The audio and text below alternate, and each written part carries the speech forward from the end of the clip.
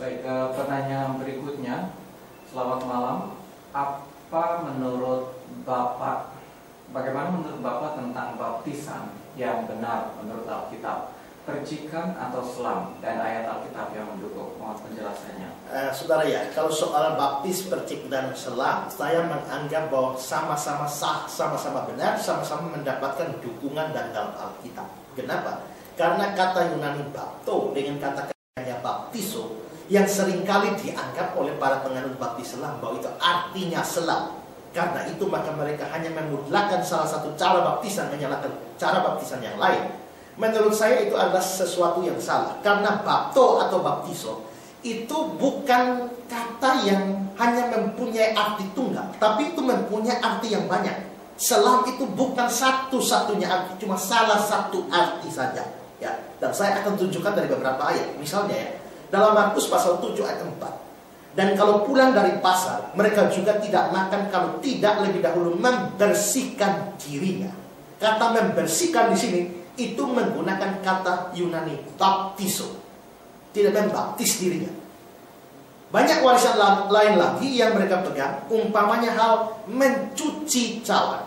Kata mencuci ini menggunakan kata bahasa Yunani baptismos. Kata dasarnya adalah baptis. Berarti di sini baptis bisa berarti membersihkan, baptis bisa berarti mencuci. Lalu Lukas 11 ayat 38. Orang Farisi itu melihat hal itu dan dia heran karena Yesus tidak mencuci tangannya sebelum makan. Kata mencuci di sini menggunakan kata Yunani baptiso. Berarti lagi-lagi kata baptis berarti mencuci. Matius 26 ayat 23. Dia menjawab, dia yang bersama-sama dengan aku mencelupkan tangannya ke dalam pinggan ini, dialah yang menyerahkan aku. Ini kata-kata Yesus mencelupkan tangannya.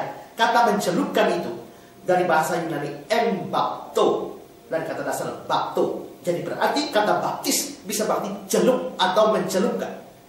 Lalu Ibrani 9 ayat 10. Karena semuanya itu di samping makanan, minuman, berbagai macam pembasuhan hanyalah peraturan-peraturan untuk hidup insani yang hanya berlaku sampai pada waktu pembaharuan. Nah, di sini dibilang berbagai macam pembasuhan. Kata pembasuhan dalam ayat ini diterjemahkan dari kata Yunani baptismos yang kata dasarnya adalah baptis. Maka di sini kata baptis berarti basuh atau membasuh. Nah, konteks ayat ini menunjuk pada berbagai macam pembasuhan atau pembaptisan di dalam hukum Taurat. Nah, pembasuhan atau pembaptisan macam apa yang dibicarakan dalam ayat ini itu terlihat di dalam ayat-ayat selanjutnya, yaitu ayat 13 ayat 19 dan ayat yang ke-21 dari Ibrani 9. Nah, saya bacakan. Sebab jika darah dembu lomba, jika darah domba jantan dan lembu jantan dan percikan abu lembu muda menguduskan mereka yang najis sehingga mereka disucikan secara lahiriah. Sebab sesudah Musa memberitahukan semua perintah hukum Taurat kepada seluruh umat, dia mengambil darah anak lembu dan darah domba jantan serta air bulu merah dan hisap lalu memerciki kitab itu sendiri ayat 21 dan juga kemah dan semua alat untuk ibadah dipercikinya secara demikian dengan darah. Jadi ada kata percikan memerciki diperciki. Dan semua ini itu bicara tentang pemercikan bukan penyelaman atau penenggelaman. Tapi di dalam ayat yang ke-10 itu disebut sebagai baptismos atau baptis. Dari sini berarti baptis itu juga bisa berarti percik. Jadi saudara terlihat ya bahwa kata-kata baptis itu itu bisa menyelam, bisa mencuci, bisa mencelup, bisa membersihkan, bisa juga memerciki, bisa. Jadi bukan satu-satunya arti. Lalu ada ayat yang lain yang jelas-jelas menunjukkan bahwa arti kata baptis tidak mungkin berarti tenggelam atau diselengkan. Yaitu 1 Korintus 10 ayat 1 dan 2. Di dalam ayat itu dikatakan, Aku mau, ini kata-kata Paulus, Aku mau supaya kamu mengetahui saudara-saudara, bahwa nenek moyang kita semua berada di bawah perlindungan awan, dan bahwa mereka semua telah melintasi laut. Ini bicara tentang bangsa Israel. Perlindungan awan, ini tiang awan. Melintasi laut, jelas waktu mereka menyeberang laut terlebih dahulu. Lalu ayat 2, untuk menjadi pengikut Musa, mereka semua telah dibaptis dalam awan dan dalam laut. Kalau awannya tiang awan, lautnya menyeberang laut terlebih dahulu. Mereka dibaptis di dalam awan dan laut. Kalau baptisnya artinya selam. Kapan orang Israel diselam di dalam awan? Kapan orang Israel diselam di dalam laut? Tidak pernah ada. Kitab suci justru berkata bahwa orang Israel berjalan di tanah yang kering. Di dalam keluaran pasal 14 ayat 21 dan 22. Dan justru yang tenggelam itu adalah tentara Mesir. Jadi dari semua contoh yang saya berikan ini jelas bahwa kata Yunani bapto atau kata kerjanya baptiso itu mempunyai pengertian yang bervariasi. Menyelam, mencuci, menuang, mencelup, membasuh, memercik. Dan dengan demikian saudara, kalau kita menganggap bahwa satu cara baptisan yang paling benar lalu membuang cara yang lain, itu jelas adalah sesuatu yang salah dan, dan, dan orang yang mengajarkan itu tidak mengerti kitab suci dengan baik. Ya. Jadi menurut saya baik baptisan selam sah sah, baptisan percik juga sah. Dua-duanya mendapatkan dukungan dari Alkitab. Jadi kita tidak boleh fanatik terhadap salah satu cara baptisan. Jadi Jangan karena kita berpegang pada baptisan selam, lalu kita anggap semua yang bukan selam salah. Atau kalau kita berpegang pada baptisan percik, kita menganggap semua yang bukan percik itu salah. Dan karena itu maka orang berusaha untuk membaptis kembali orang-orang yang sudah dibaptis. Itu jelas sesuatu yang salah. Ya. Nah tetapi mungkin ada yang berkata, ah Tuhan Yesus saja kok dibaptis selam kok. Siapa bilang Tuhan Yesus dibaptis selam? Tuhan Yesus belum tentu dibaptis selam. Seringkali yang dianggap Yesus itu dibaptis selam itu karena Matius 3 ayat 16. Setelah dibaptis Yesus segera keluar dari air. Tapi kata keluar dari air itu belum belum otomatis berarti dia diselam. Mengapa? Karena kalau dia keluar dari air, dia pasti sebelumnya tidak di air.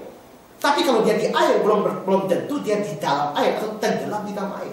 Kalau saudara masuk bak di dalam air setinggi pinggang saudara, ya. Lalu waktu saudara out dari sana, dibilang apa? Keluar dari air kan? keluar dari air tapi saudara tidak tenggelam di sana. Kalau saudara memandikan anak bayi di dalam bokor berisi air, nah apakah anaknya tenggelam atau tidak? Tidak kan. Tapi waktu saudara keluarkan anak itu juga disebut keluar dari air. Jadi kata-kata keluar dari air tidak secara otomatis berarti selam. Ada juga dari kata kombe kata kombe ada gambar-gambar di mana Yohanes Pembaptis dan Yesus itu masuk di sungai Yordan di air sepinggang dan di air sepinggang itu Yohanes membaptis Yesus dengan baptisan percik bisa juga jadi menurut saya tidak bisa dari Matius 3:16 kita lalu mengartikan Yesus ini dibaptis selam. Bahkan saudara, saya sendiri itu lebih condong untuk percaya bahwa Yesus itu dibaptis percik. Dari mana? Saya condong ke sana. Kan Yesus dibaptis Yohanes Pembaptis. Nah sekarang kita bisa tahu Yohanes Pembaptis itu membaptis dengan cara apa? Apakah yang Pembaptis membaptis orang yang baptisan selam atau bersih? Sekarang saudara, dan bagaimana Yohanes membaptis orang? Itu terlihat dalam Matius 3 ayat 11. Matius 3 ayat 11 berkata, Aku membaptis kamu dengan air. Itu kata-kata Yohanes. Kalau Yohanes membaptis menyelam, menyelamkan orang, kata-kata membaptis dengan air itu tidak cocok. Yang cocok adalah aku membaptis kamu dalam air. Tapi bahwa kata-kata aku membaptis kamu dengan air itu lebih cocok dia melakukan baptisan percik daripada selam. Tapi itu tidak berarti bahwa selam paling benar karena uh, percik paling benar karena selam juga itu ada dalam kandungan kata bapto atau baptiso. Jadi sekali lagi menurut saya adalah bahwa arti dari mau percik atau mau selam dua-dua mendapatkan dukungan dari kitab suci. Dan karena itu tidak boleh fanatik dalam salah satu cara baptisan dan menganggap kita punya cara yang paling benar sedangkan yang orang lain salah. Ya sepanjang harus benar tiga. Pertama dia mesti dibaptis di dalam nama Bapa Anak dan Roh Kudus. Kedua adalah dia harus dibaptis di dalam gereja yang secara doktrinal itu mengakui Allah Tritunggal. Ketiga dia harus dibaptis pakai air. Kalau tiga itu dilakukan maka itu sah kalau tidak, maka itu sebab yang tidak salah. Cara tidak menjadi masalah. Ya.